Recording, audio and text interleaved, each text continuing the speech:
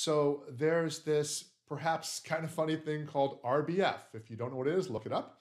And a lot of people are, you know, talking about that as, oh gosh, well, that's what a person looks like. And it's kind of like this way of, you know, what's a person's default look? Is it kind of like, eh, or, uh, or you know, whatever it might be, or just as you see people as you they get older, and sometimes people seem to have this perpetual or this permanent frown on their face. And I haven't studied the science on this, but I've always wondered is, is that what their face was like most of the time? And is that just what their muscles have gotten used to? And if you're familiar with RBF, that's really the, the theory or the hypothesis behind it.